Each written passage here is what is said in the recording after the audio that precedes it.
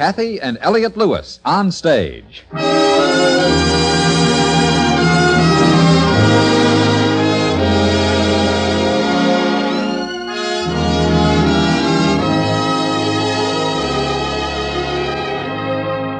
Cathy Lewis, Elliott Lewis, two of the most distinguished names in radio, appearing each week in their own theater, starring in a repertory of transcribed stories of their own and your choosing. Radio's foremost players in radio's foremost play.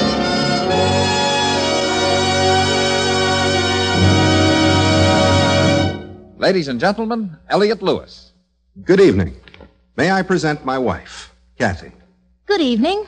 Fascination is defined as being a spell. And yet, if you were to cast a spell over someone, it could be defined, but it would be very difficult to explain how you did it. A word can be defined, but it's next to impossible to explain motives. The author's job is to make it clear to an audience why people behave as they do. A common example, the mystery play, where you're asked to accept the villain's reasons for committing a murder. Simple example, the author's relatively easy problem in dramatizing a mother's love for her child. A medium example, as stated here some months ago, the reasons why a man must climb a mountain. Tonight's problem, why a woman loves a man. Which brings us back to the word fascination. It's the title of tonight's play. It was written by Richard Chandley, and in it he will dramatically discuss a good woman and a bad man and what happened to them. Since Dick has chosen to set his story in the Old West, we begin with Fred Steiner, who has written an overture especially to set a mood of time and place.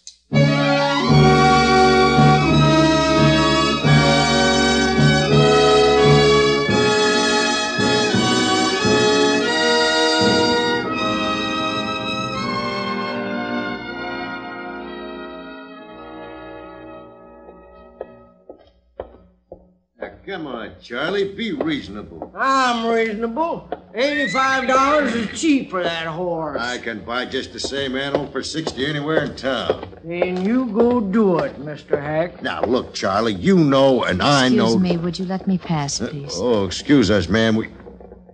Hey, if it ain't Miss Ann Grace. Look who we got here, Charlie. Why, howdy, Miss Grace. Look like you all packed up to go somewhere. Didn't you know, Charlie? Miss Grace is leaving town by order of the court.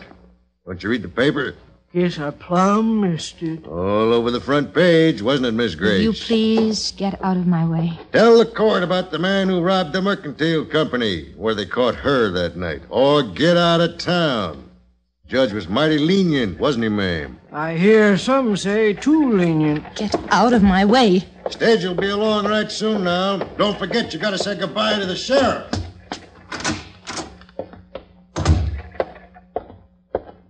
Sheriff Meade, Morning, Miss Grace. court's instructions were that I report to you on this date, and you are to see that I am put out of town. Yes, ma'am. Stage ain't due for a few minutes. Won't you sit down? I'll stand, if that's all right. No need to be so formal, ma'am. Sit down. I was hoping we wouldn't have to go through with this business, ma'am. That you'd be in to talk with me before today. I had nothing to say when, when I was caught because there wasn't anything to say, Mr. Meade. There still isn't. Look, Miss Grace, you're a nice person, always been respectable. You ain't the kind who deliberately helps someone bust into a place and steal $4,000. I don't want to go over it, Sheriff. But it just don't make sense, ma'am. You've had all the humiliation the town could heap on you in the last couple of weeks. Maybe that's worse punishment for a woman than being locked up. Is it sense to lose your reputation, get run out of town for a skunk who run off and let you face it all by yourself? I've said all I have to say. If you figured he'd come back and try and send you a message, we've been watching for that too. He hasn't, ma'am, and he won't. You know that by now, don't you? Please stop. Huh, I'm taking my punishment. All right. Stage is in. You ready to go? Yes, I'm ready. I'll take your bag. Thank you. I can carry it. Here, here, here she comes. Hey, uh, Sheriff. Who's the lady you got there? Goodbye, Miss Grace. I expect you'll be going a long way from here. Yes. Goodbye, Sheriff.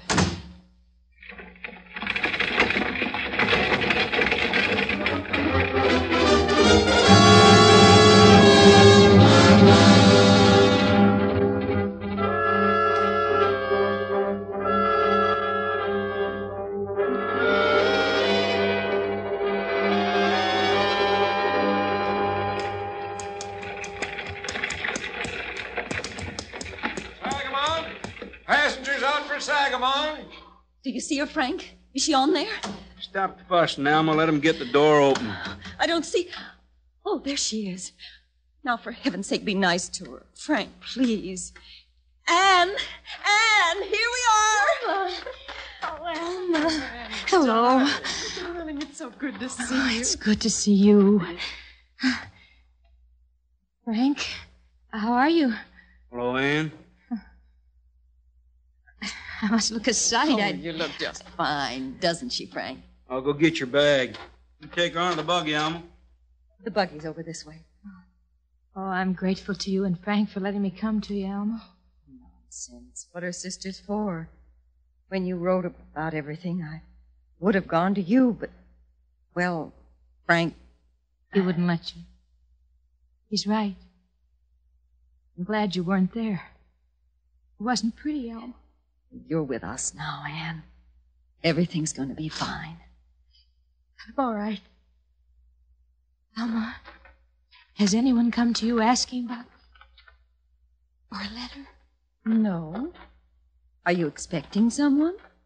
No, not really. It was a silly question.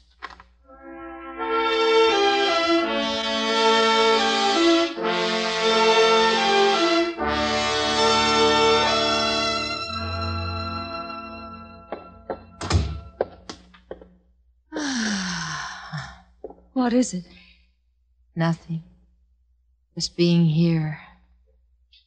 I feel like I never want to go outside again. Anne, what you wrote, this man, and caught robbing a place. Yes, it's true. Oh, Anne. How? I was in love with him. We're going to be married. Makes me even a bigger fool, doesn't it? I don't know. I just don't understand. We met three months ago, Alma, just after he came to town. I'd never known anyone like him before. Everything was just wonderful. We were to be married and then come this way on our honeymoon. One night we were walking. He said he had some business with a man at the mercantile company. It was late. He said the man wanted it that way and had given him a key. It all seemed so reasonable. I, I didn't know what he was going to do until after we got in. He said he was doing it for us, that, that marriage was no good without money, lots of it. And then there was noise out front and they came in after us. He left me. Anna. I wish there was something I could say. I got plenty to say. Frank, how long have you been? I heard. You always been too blamed independent for your own good, Ann. Living off in that town by yourself. Could have come to us a long time ago. Please, Frank, can't you see she's all worn out? I told you I was going to tell her, and I'm going to get it said. Nobody in Sagamon can say nothing again Alma on me, Ann. You're under my roof. You got a chance to start clean act proper. Oh, for goodness sake, Frank. Hasn't she been through enough? Well, I hope she's learned something. Got to prove it, that's all. All right. It's getting on time for supper. Go fetch some wood for the stove. I'm sorry, Anne. He didn't mean it to sound just that way. He always said someone should take a strap to. I need something, Elm. It's all over now. No one knows anything about it here. Got to start to forget it. Susan, I'm such a fool. After all that's happened, I should hate him. I should. I should never want to see him again, but he's still in my mind. And you still feel love for him? I want to get over it. I know I've got to. And then that's a beginning. And the worst thing you can do is just sit. You've got to get out and work at something, just like you've always done. He's so busy you won't have time to think. Will you do it? Yes, I'll try. Fine. You rest up a few days and then we'll go in town. The hotel's busier than all get out. Fred Colby hasn't got half the help he needs. Everything's going to be fine, Anne. I just know it.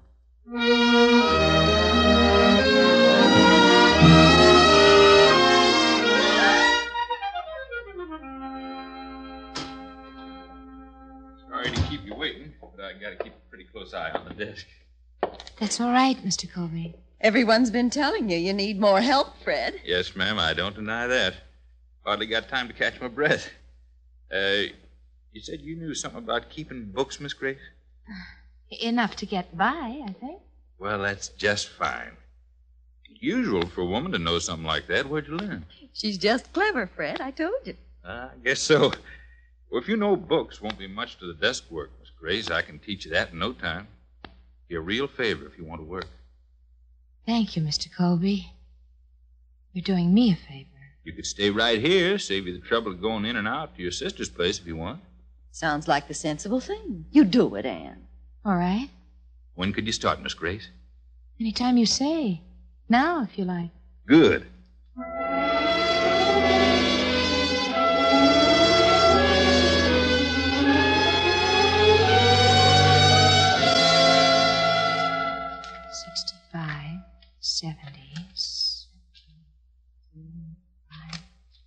$78. 60, 63. Figure out, right? Oh, well, Mr. Colby, I'm just adding up the cash I've taken in today. Something you want me to do? Just leave off work. It's after six. I, I just have to enter this in the ledger. You know, you've been here a week now. People are beginning to talk about you. It's not good. Talk about me? They say I work you too hard. From now on, you stop on time. Ah. It's, it's just that I like the work. I'll enter this total in the ledger. And that's all. No straightening things up. Just the total. Yes, sir. It's a real nice girl. I agree with you. Huh? I said I agree with you. She looks like a very nice girl. Oh, excuse me. Didn't see you come in. Yes, sir. What can I do for you? I'd like a room. And a bath, if you've got one. Yes, sir. We got one. You come in on the stage? Just in. Was that east or westbound? Does it matter? Glad to have you. Room's ten dollars and bath's two dollars extra apiece. That's in advance. Uh-huh. Hundred dollars. Well, I'll have to go back to the office to change it. Excuse me. Just credit it. I'll be here for a while. Where do I find my room? Two oh five. Here's your key. It's upstairs on the right. That's at the end of the hall. Thanks. If there's anything you want, I'll let you know. hundred dollars.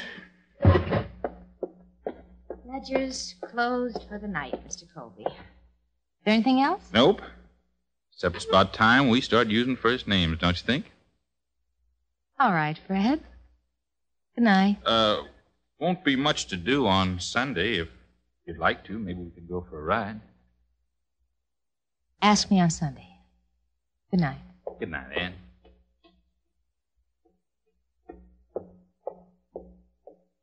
Anne?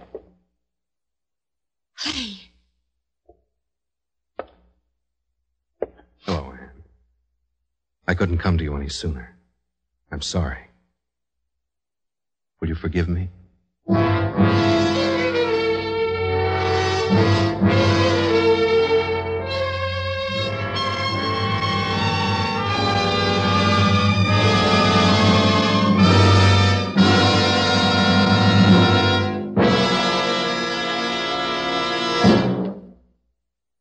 Are listening to Cathy and Elliott Lewis on stage. Tonight's play, Fascination.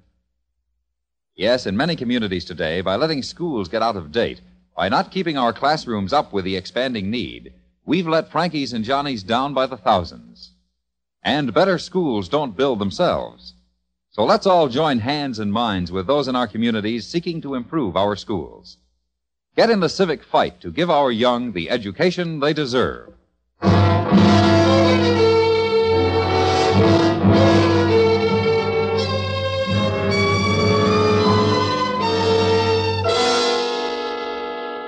Did you find me? How did you know I was here? Let's get out of the hall first. No, Clay. I'm. You're through downstairs, aren't you? I heard you say goodnight. We've got to talk, Anne. No, Clay. I don't want to talk. Let go. Now, will you listen to me? Did you know I was here? Sagamore, you told me your sister lived here. It's the natural place for you to come. You didn't forget that, did you? Anne, I didn't want to leave you there that night. It was bad luck. I couldn't do anything else. Bad luck. That's what you call it? Just bad luck? I know what happened to you, Anne. You think I feel good about it? You think I left you in that trouble on purpose? Didn't you? All right. You believe that? Why didn't you tell him about me? Because I. There wasn't any choice, Anne. I love you. I would have given anything to let you know where I was, but that's just what they were looking for. You knew it, didn't you? Yes. I'm the one they wanted. When they couldn't get at me through you, they let you go. That's why we're back together today, instead of five years from now. I. I. I don't know what to believe. Believe what you feel. Believe your eyes. Would I be here now if I didn't love you? don't know. This moment, I'm not sure what kind of person you are. I took that money for us, Anne. That was the only reason. I wanted us to start off big, get going good so we wouldn't have to worry. I was wrong. It was the first time and the last time, Anne. I promise you. I've got to think, Clay. Please, Anne. No. Don't kiss me. Awful lot's happened, Clay. You've got to let me think it out. All right. Any rules you say. I Don't want to see you for a while. I want you to leave me completely alone. We don't even know each other. Agreed. When will you see me? I, I won't have any time. Uh, until Sunday. Sunday, then. Don't be too sure of it. Good night, Clay. I saw some pretty country just outside town. Hire a rig for the afternoon and ride out east. I'll meet you. Good night, Clay. Sunday. I'll meet you Sunday.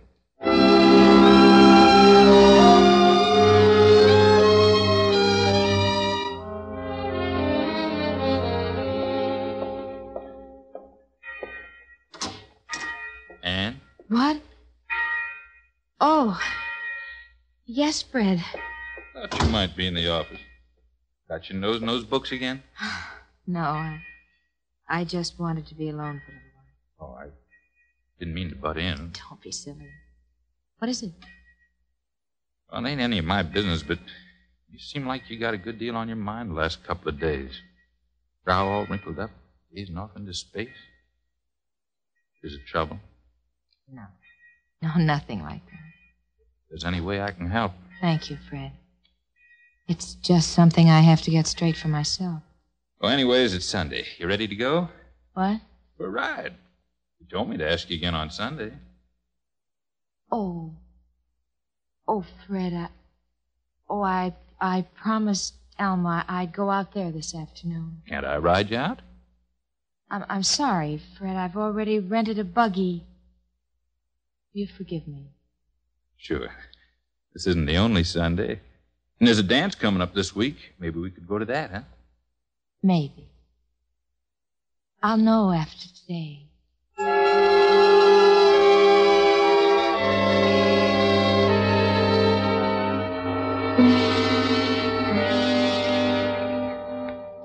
Did I choose a good spot? Yes, it's beautiful. It's just the place I thought you'd pick. I've been looking around while I waited. It's good land. You were very sure I'd come, weren't you? No, I wasn't. Why didn't you go on when you left me? Why did you come looking for me? I could have forgotten you. I know I could. I love you, Anne. If it took ten years, I would have found you. I'll tell you something. I want money for us. I've seen what it can do, and I know what it's like without it. I wanted everything to be right. I was just wanting it too fast. That's the other person in me, Anne. He loved you enough to do anything. Oh, Clay. I love you. I can't help it. Promise me that other person's gone. He's gone, Anne. I promise you. It's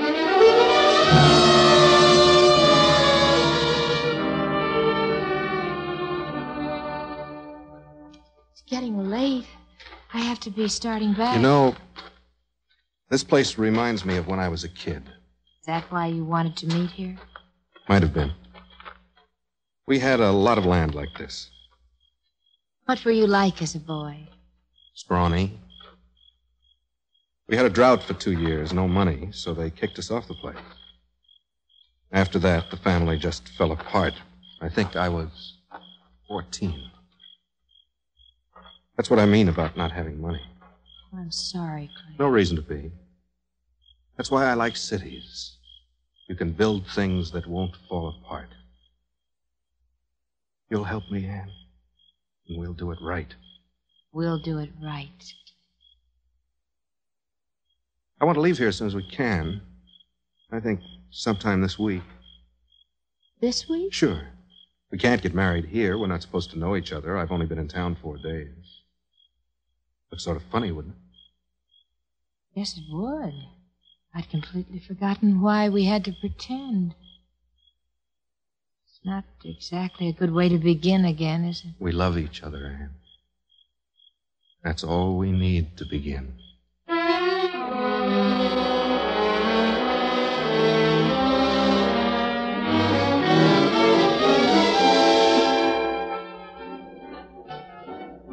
You're just about the prettiest on the floor, Anne. Thank you, sir. You're really sparkling tonight. Uh-huh. Only sorry I wasn't the one to bring you. Oh, I'm sorry I had to turn you down, Fred. Well, I'm not losing too much. I'm getting my dance. I've been looking for Elma and Frank. Have you seen them? I saw them earlier. They're in this crowd somewhere. Guess the whole town's in here. I want to look for them. Will you excuse me, Fred? Sure thing. Can I have another dance later? Later, maybe. Anne, Clay? Here I am. I thought I'd lost you for good. This dance is mine, isn't it? Oh. I don't think I've ever been this happy before, Clay. How many people would you say were in here? Practically the whole town. You're right. I went out for some air and looked around. Tonight's the night, Anne. What? It's lucky for us. I feel it. We're leaving tonight. Leaving tonight? I got us a rig this afternoon. We can drive on to the next town and get married. Couldn't you have told me? I'm not even packed. I, I, I haven't even told Fred I'd be leaving my job. Anne, do you love me? I love you, Clay. If we go back to the hotel, will you pack? Now? Right now. Come on.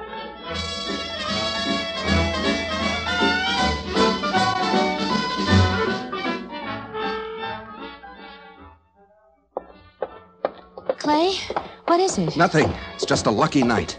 Will you leave it to me? Why all the hurry? Clay, Clay, please, I, I just can't disappear without telling a soul. You'll see. Here, I, I thought we were going to the hotel. after we're through here.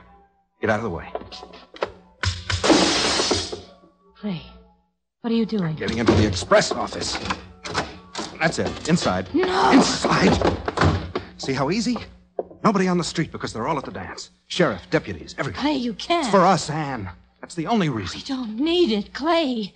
Please think. There's still time. We, we, we've got to get out of here. You stay right here by the door. If you see anyone coming near you, call me. I won't do it. You'll do it. Just a few minutes. You stay right there. Clay. I'm going to leave you. I'm going to leave you here. I'm not going to do this again. Easy, Anne. Just a couple more minutes. Goodbye, Clay. Anne, anyone coming? Anne, don't open that door. Hey, hey, somebody's busted into the express office. I see him. There he goes. Hey, you!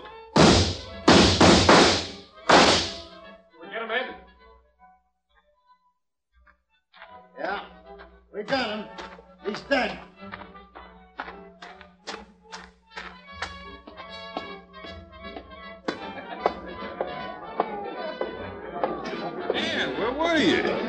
Promised me this dance. Oh, I'm sorry, Fred. I. I just had to get some fresh air.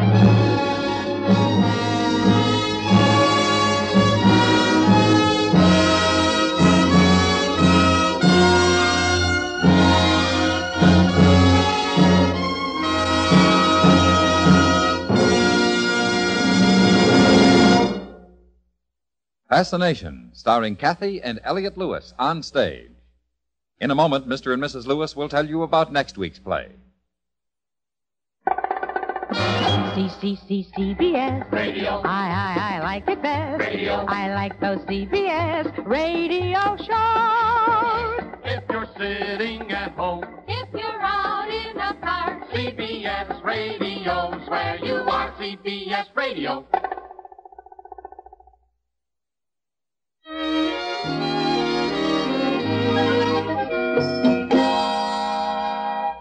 Richard Chandley has written the answers to why a fascination existed. Clayton Post and Junius Matthews were glad to see Cathy leave town. And Herb Butterfield was the sheriff who insisted upon it. Irene Tedrow was my sister, and Jack Kruschen her husband, and I went to work for Barney Phillips at the hotel. And to finish it out, Byron Kane was the stage driver who got you from one place to another.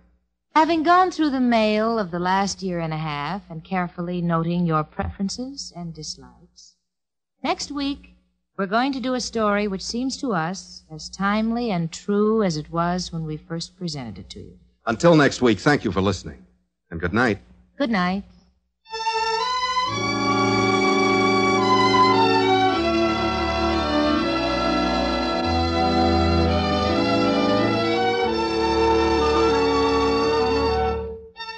Music for tonight's story was composed and conducted by Fred Steiner. The Cathy and Elliott theme is by Ray Noble, and the program is transcribed and directed by Mr. Lewis. George Walsh speaking. Friday nights, enjoy a full hour of Arthur Godfrey on the CBS Radio Network.